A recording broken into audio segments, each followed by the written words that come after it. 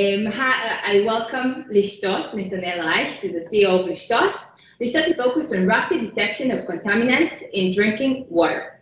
哎，我现在欢迎 Nathaniel Reich 的先生 Lishtot 的 CEO。Lishtot 的技术可以快速的监测饮用水水中的污染物，让我们欢迎他。Nathaniel, please. 嗯，以色列下午好，呃，中国， 呃，抱歉，以色列早上好，中国下午好。那这位是 Lishtot 的这个首席执行官以及联合创始人 Nathaniel Rush 先生，今天要给大家介绍他们 Lishtot 这家。对，那我们知道全世界都面临水质的这个问题，包括印度、包括美国以及其他地方，在饮用水中有污染，那这也是下世纪非常大的一个问题。那雷士豆呢呢致力要帮助大家解决这个问题。对，那雷士特的那个技术呢，大家看到这个图左边就是这个水滴型的这个呃设备，那它是像钥匙圈的大小，那在两秒钟就可以告诉您呃这个水能不能喝。而且它是完全不需要接触水的一个技术。那之后呃可以连接他们的这个应用，那可以透过蓝牙或是呃最新的版本会是 NFC 的协议，那从这边会跟他们的数据库以及全球水质的地图连接。对，那他们的这个技术也广受认可，也是受到很多重大的这个媒体的报道。那因为他们这个技术用这么小的仪器，然后不用接触水，这么短两秒。而且它是呃价格非常实惠的这样子的一个设备，就可以让您知道这个水能不能喝，是非常大的一个突破。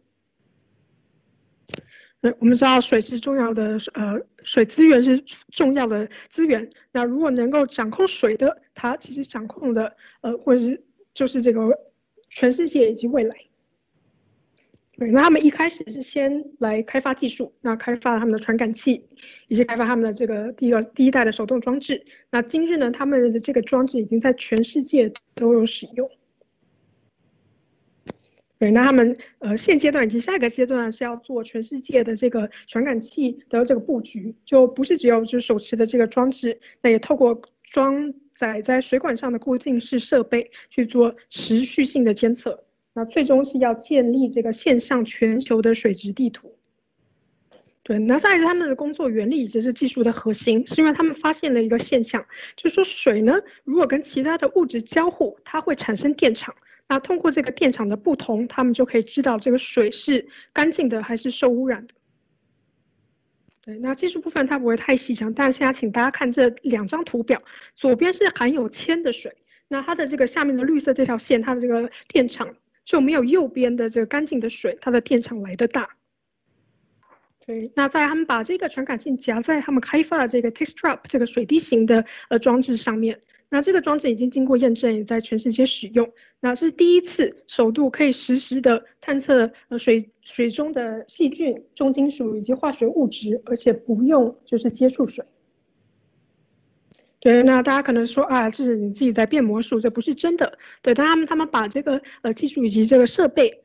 到第三方实验室去做检验，在全世界的这些检验单位呢，还包括就是呃马赛诸州的这个理工学院的这个检验，它证实这个技术是真的可行。对，这是他们全球的这个用户，那可以大家可以看到，他们已经真的是全世界都有在使用这个设备，那他们也非常频繁的收集这些呃数据。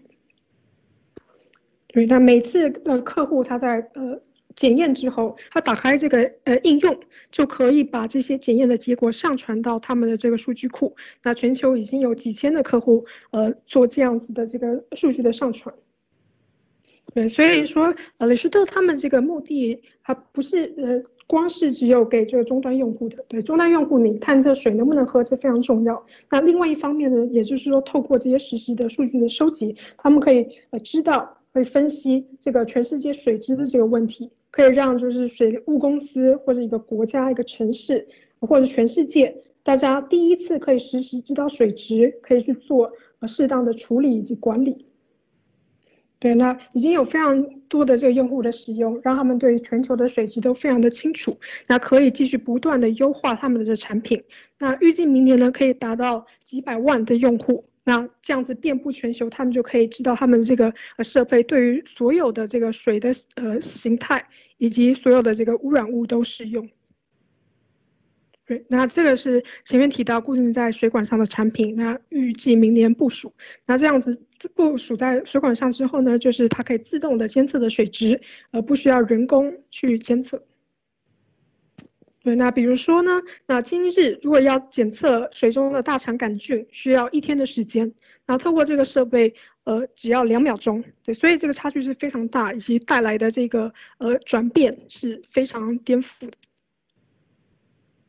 对，那我们知道，如果要一个颠覆一件事情，你要改善一个东西，你必须要从呃这个传感，呃开始，就是布局传感器。那比如说，呃，国内今日的这个空气质量呃提高，就是因为呃有很多就是空气质量探测的这些呃仪器的部署。对，那希望他们这样子的水的探测的这个仪器，那可以呃在国内呃落地。那比如说政府可以来部署这些水质的探测器，来提呃继而。呃，进一步的这个实时的监测以及提高质量，或者是说终端用户在家里有这些监测水质的这些呃设备，那也会呃推使啊水务公司或政府的这些事业来使用这些技术，那也会想要呃应用这些技术。对，那再是数据的问题。那我们知道，全世界最有价值的这个公司都是掌控数据的公司。对，所以如果你是豆它其实产品本身它是一部分，那另外一部分是透过这个数据的收集以及数据的拥有而做数据的分析以及交换。那透过这样子数据的这个布局呢，可以让他们在市场取得更加的定位。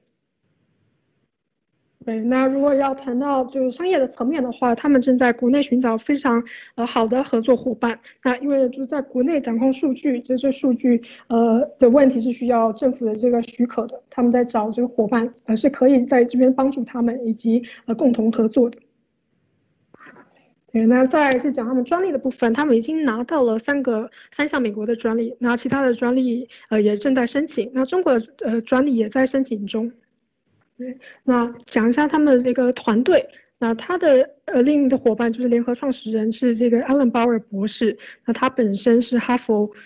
生物化学的这个博士。那他们这个公司呢，从完全零的这个点子开始，到把他们的产品推向全世界，受到全世界使用，他们是呃非常呃觉得这个成果是非常有目共睹的。那最后一呃一页就是谢谢大家。那中以关系呢是一个非常重要的关系，那他非常高兴这个关系也在日益更加的紧密。那呃中以两国的人民有共同的这个历史，那也会有共同的这个未来。谢谢。呃，那他们也在国内寻找对的合作伙伴，呃，就是跟他们可以一起来建立中国李氏豆分公司的，他们也会大力的支持。那其实已经有跟非常多中国公司接触，但他们还尚未就找到他们认为对的这个合作伙伴，可以在呃国内拓展这个是业务，以及把这个技术带到中国。呃，屏幕上有他的电邮，那除此之外也可以透过 Daniel 或 Bella 与他联系。那非常感谢大家，那希望日后呃有合作。对，谢谢，祝大家美好的一天。对，我们现在问答环节，如果大家有疑问的话，请提出。Uh, actually, uh, according to your business plan, uh, you target both business and customer market.